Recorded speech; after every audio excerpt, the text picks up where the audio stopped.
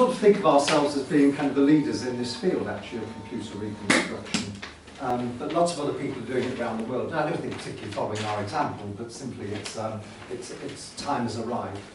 Um, so we wanted to uh, get on onto the record the um, kind of uh, current practices of what's going on, you know, with an international flavour as well. So the first day was kind of an international day, as it were. Um, and today is, is really local, so you can actually see uh, what's going on here, and you'll be able to talk to people how, how this sort of restoration work is organised. So it's kind of tend to be sort of a hands-on, practical uh, thing today, of just sort of uh, finding out sort of what's underneath the bonnet. And the second reason was that um, the museum is in the process of trying to get a, a, accredited, um, and uh, British museums have an accreditation programme um, and um, if we think of ourselves as the National Museum of Computing, um, we want to be on a sort of a, on a, an equal par uh, with, um, with other, other museums so that we can exchange goods, share archives and so forth. And that gives us a sort of premature to do that. Um, and one of the things we need to do uh, was to become more sort of academically engaged. So we've organised this conference um, very much on the lines of an academic conference with a, with a proper proceedings. Um, and incidentally, the proceedings that you have are, are drafts, and we're going to invite all the speakers to, if they want to sort of revise their papers, uh, to do so in the next month or so. Um, and then we'll put it online, so we'll have a formal publication with the museum's name, name on it, and just sort of uh, enhance our kind of credibility.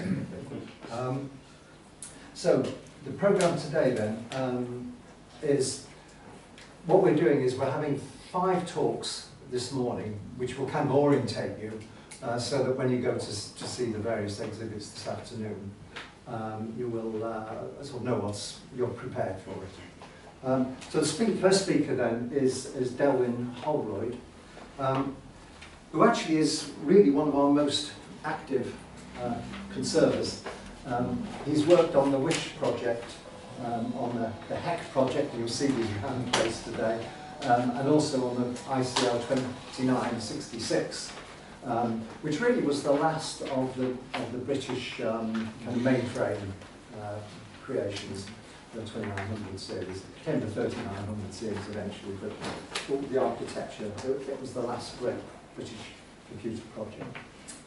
To take up? Yeah, absolutely.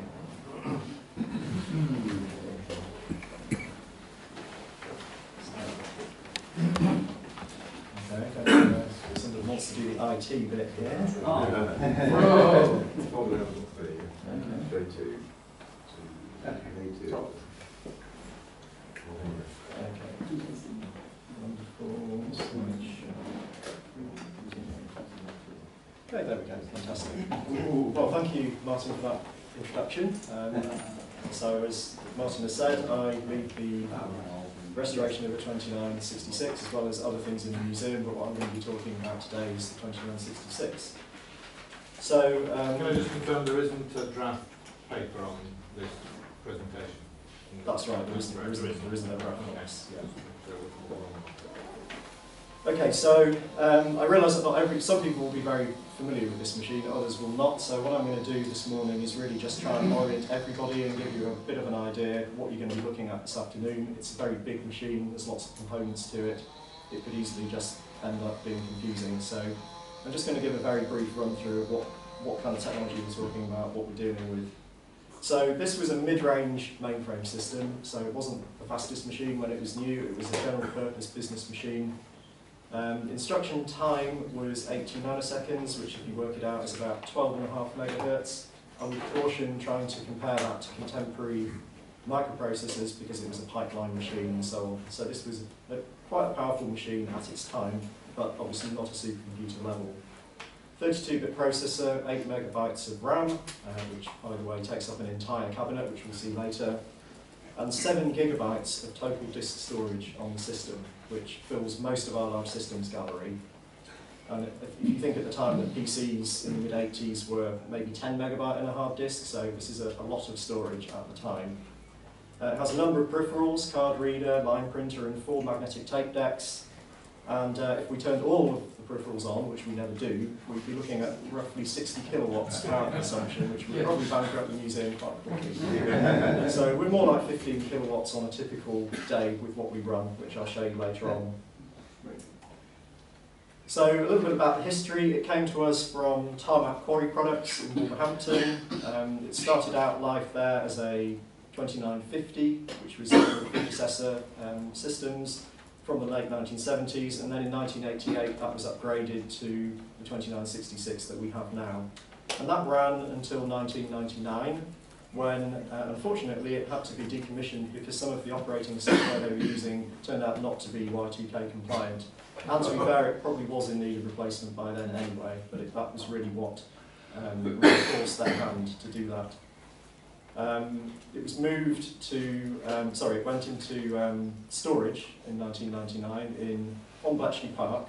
This is before this museum actually existed, so it was the predecessor organisation to the museum that it was actually donated to.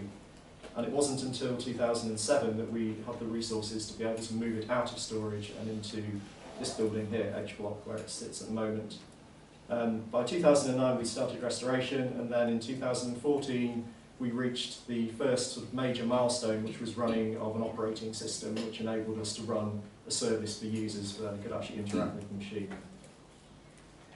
So a little bit about the architecture. 2900 architecture um, was known as the, uh, the new range from ICL when it was first begun.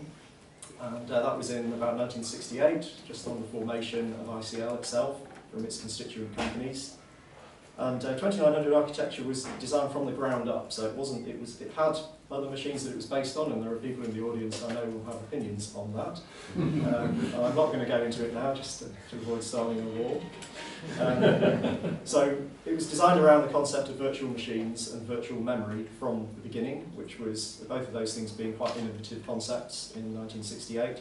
It was designed to run uh, compiled high-level languages efficiently and what that meant was it had hardware features for things like procedure calling, array indexing, and so on. Um, all memory access was done through descriptors. That's a little structure that specifies where a buffer is in memory and crucially how long it is. And so that obviously uh, helps to avoid the, the bane of today's software, buffer overrun, buffer overflow issues.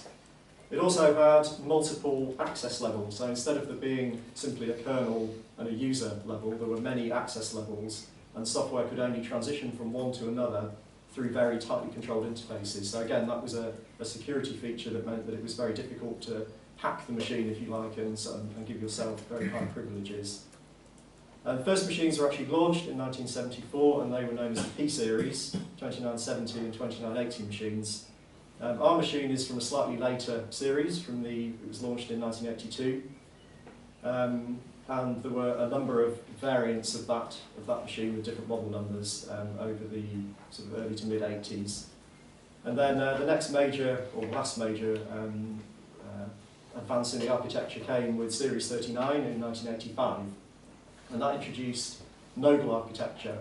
And what that meant was you could take individual processing nodes and connect them together with fibre optic connection to create multi-processing systems with a single system image.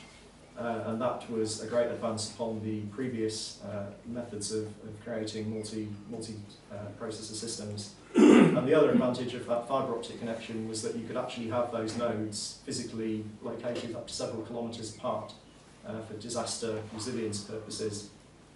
So um, from the early 90s onwards, they, um, although the architecture continued, it became too expensive to build these kind of custom processors that you will see in the 2966 and indeed in the early Series 39.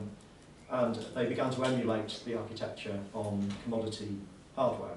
So we actually have an example uh, in the museum of a system like that called the Trimetra DY system, which you'll see next to the 2966. And that one is actually based on an Intel Pentium Pro processor, which emulates the 2900 instruction set and the software and so on. Um, it's still in use today the architecture, just about, um, for certain government applications, shall we say. Uh, it's the, the applications were mo mostly public um, companies in, in the first place, but that's really all that's left now. So let's go on to the technology. So the machine is based mainly from TTL. Um, TTL, for those of you not familiar with electronics, it's a very um, cheap and widely available set of logic, and mostly it's still available now, either still manufactured or available new old stock. Um, the rest of this machine, in particular the main processor, or OCP in the ICL terminology, is made from ECL logic. Again, it's the common series, and it uses dynamic RAM for the store. Um, this was the last model of the uh, 2900 architecture to be based on this kind of commodity parts. So the, uh, the Series 39s that followed were based on the Fujitsu LSI technology. Of course, the problem there is that with custom parts, they're not available anymore. There's zero chance of remanufacturing them. So really, this is one of the last machines that we could contemplate restoring to operation. Um, it's built around what's called an SCU, uh, store control unit, acts like a hub that all the other units in the system talk to. And uh, so those other units being device control units, which are sort of standalone processors that manage all the peripherals. Uh, we have a system control processor, which is, when you see it later, is uh, a unit that has the, the screen and keyboard on. And that has a dual purpose. It's both for engineering diagnostics, and it's also used as the operator's console when you're running an operating system. And then the order code processor, or OCP, that's a CPU, um, you might also call it. Four main components there. Scheduler um, is the component, the hardware component that actually takes individual instructions and converts them into a set of microcode tasks, which it then hands off for execution. And uh, these were designed so they could take up to two decoders. So it has a, a native 2900 decoder. Uh, it also has space for another one, and we have the 1900 decoder. So the 1900 series was the pre predecessor architecture before 2900 came along.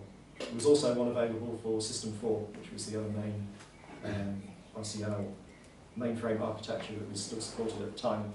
Now the idea, I, I'm fairly sure, was to enable customers to migrate efficiently from, and easily from 1900 or System 4 onto 2900. However, in practice, a number of customers didn't make that migration and just treated the 2900 machines as a faster 1900. and that includes our machine. So our machine spent its whole working life in 1900 mode. So just a little on the other units. The engine itself, it's pipelined as I mentioned. Um, it obeys this microcode which is called NICOS 2. Um, it has a store access unit, which is the, the component which issues requests off to main store and also contains a data cache to increase performance. And then it has a diagnostic module, which um, allows the, the system control processor in its engineering mode full access to all the registers in the machine.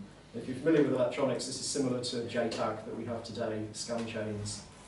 Uh, and it does mean that the uh, SCP can pull off fancy tricks, so everything is parity checked within the machine. If something in an internal pipeline in the processor detects a parity error, system control processor can stop the clocks, back up, retry, and thereby potentially avoid a system crash that would have been an inevitable result in earlier machines. So, how are we doing for time? Right, so disk technology. Um, we've got several different types of disks. So they all use the flying head principle, um, and we'll go on to that later this afternoon as to why that's not a great thing restoration. Um, two removable types, 80 megabyte and 200 megabytes there. Um, I won't go through all the parameters. And two fixed types, the FDS 160 and 640. I'll leave you to guess the capacities of those. Um, and they were a very similar technology, but they used sealed um, disk and head assemblies to enable a slightly higher density to be achieved. So, why restore? Well, we've heard quite a lot on this from previous speakers yesterday. Um, from our point of view here, and with the 2966 in particular, one of the major reasons is this is computing on a large scale. Most visitors have never seen anything like this machine, and even people who programmed on these machines may never have actually seen them because they were hidden in machine rooms, and, and, uh, mere programmers did not have access. So, uh, crucially, it needs to be running to get the full experience. So you need to be able to hear it. You know, you hear the sounds, the heat, the noises the peripherals make. It's a very tactile kind of machine, and, and that's really why we wanted to restore it to operation. And of course, no similar uh, machine note from ICL or indeed any other mainframe manufacturer is working uh, in this country on, on public view at the moment. Um, crucially, the technology, as I mentioned earlier, makes it practical. Um, any later machines, we would be looking at severe difficulties with keeping it running long term. Um, so those LSI components are, really the killer, which we don't have in this machine. And availability of documentation. Um, we're lucky enough to have literally tons of manuals that came with the system. And we also have um, about a million of these Aperture cards, which represent the ICON Master Document Archive. And this is every technical description and circuit diagram and so on produced by ICL from about the late 60s up to mid 80s. Um, the only problem is we don't have an index, but there are ways, there are ways around that. Um, but this has been incredibly helpful. We've been able to get circuit diagrams for things that we wouldn't otherwise have been able to, to repair. Um, and finally, availability of software for the machine. So um, not only do we have diagnostics, which on a machine of this complexity is essential to have the diagnostic software to aid you in actually fault finding on the thing. Um, we have operating system software, and crucially we have compilers in a number of languages, which means we're able to create new software for the machine to demonstrate it. Because there's no point just having a machine there that isn't able to run anything. So now just quickly, I'm going to... How long have I got? Fine. Okay. So just quickly to run through the restoration progress. Um, obviously this will make more sense when you see it later on, but just to orientate you. So back in 2009, um, we got the system control processor working. And uh, by November, the device control unit was passing its internal self-test. Now those two components are essential to do anything else with the system. They manage the boot process, so we had to get those working first. And the next step after that was to construct a virtual magnetic tape deck that interfaced directly onto the DCU and enable us to put in um, the initial stages of the boot software, which we've got, um, as, I, as I mentioned, preserved already in modern format. Um, however, to get further, we really needed the diagnostics, so um, then we turned our attention to one of the EDS-80 exchangeable disk drives, that was working by May 2010 and it worked for long enough for us to get a disk image at low level of the diagnostics disk. Um, there have been problems with it later which I'll come into this afternoon. But that gave us um, the ability to run the customer test suite, also customer test software, which is the diagnostic suite for the machine. And what that does is it basically tells you what boards are faulty or where to, where to start looking for, for any particular fault and it does very uh, thorough testing of every, every piece of logic in the machine. So moving on then, by um, September 2011, we had the, the main processor working, by which I mean it was able to run primitive level instructions, so assembler code effectively in the 2900 mode. Um, following which we built a new peripheral interface, which was a bit more um, capable than our previous laptop um, interface that I mentioned earlier. So what that enabled us to do was to drive directly the MagTape decks card reader line printer as if they were talking to the processor. And conversely, we could also switch the mode of that, hook it up to the processor, and it could emulate any of those peripherals, which gave us a way of bringing in virtual cards or virtual tape and so on, and doing virtual output. So the real card reader was working by 2013, and then the next major thing that we needed to do from there was to build an emulator for the disks. So we realised that the disks, well, we realised very early on the disks were not going to be reliable enough in this environment to, to run them um, every, every day. We just we just end up with head crashes, and we very quickly run out of, of um, disk packs. So building a disk emulator became a high priority um, at this point. That was complete by September 2014, and I'll show you the emulator later and talk a bit more about it. And that enabled us to move on and actually run a real operating system then by November 2014, initially just on one terminal. Uh, we then moved on started looking at some of the other drives. We restored one of the larger FDS 640 drives, and we don't run that frequently, but it is now operational. And then we acquired uh, in September two more terminals of a different type, some 181 terminals, and these added to the user experience. So obviously it's a multi-user machine. We now uh, have the ability to have multiple users using it. Um, November 2015, we got the two of the main, uh, the main tape drives working. Um, these have been very useful, not so much for running the system, but for data recovery for other people and so on. And also they look great for visitors. And then in 2016, um, we got the second of the system control processors working, and that is a necessary precursor to being able to run the real 2900 operating system, which is VME, uh, on the machine as well. So that's it for now, and hopefully you will come and join me at some point this afternoon on your allotted groups, and we'll go through in a lot more detail what people want to look at, and I'll be able to demonstrate the system for you. So, thank you very much.